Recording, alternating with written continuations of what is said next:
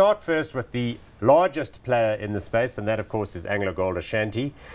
Came out of the Anglo American group but has no connection anymore. Merged with Ashanti, which was a Ghanaian based operator.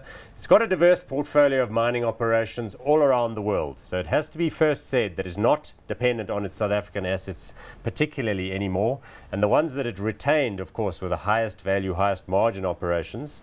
The market capitalization, though, you'll see in a minute, the share price not looking too happy. 34 billion rand. That is the size of this company, which is smaller than a mid-sized retailer in our South African market. It's been through waves of successive restructuring, so the most current metrics indicate that it's not profitable, therefore no price to earnings ratio, not currently in dividend distribution mode. So Gerbrand, I mean, this is the sector leader, highest quality assets. Management's been pretty forthcoming under the uh, CFO, then CEO Venkat. Yeah. How do you feel about these guys?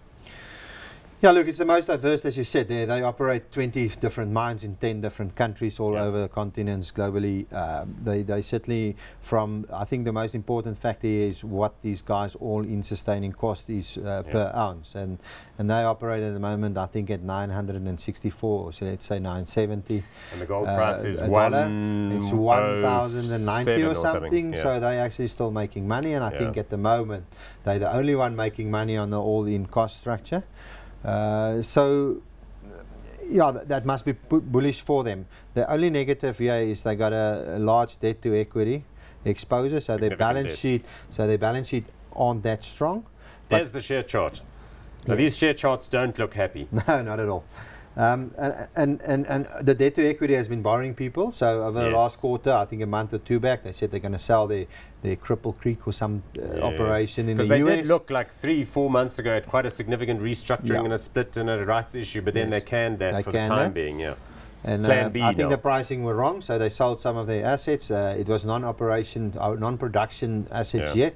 They sold those for 870 uh, million dollars. So that's going to be yeah. used to pay off some of its debt uh, on the balance sheet. So I think they're looking much healthier than they did two months back, yeah. and they're seriously cheaply priced uh, historically. Yes, so that's obvious from the share chart. So is it your contention that if the gold price sort of stabilizes at the current level, um, they could possibly do more to cut costs, but they're probably the best positioned. But what's the catalyst to drive this higher? I mean, why would you be wanting to own the stock or buy it with fresh money today?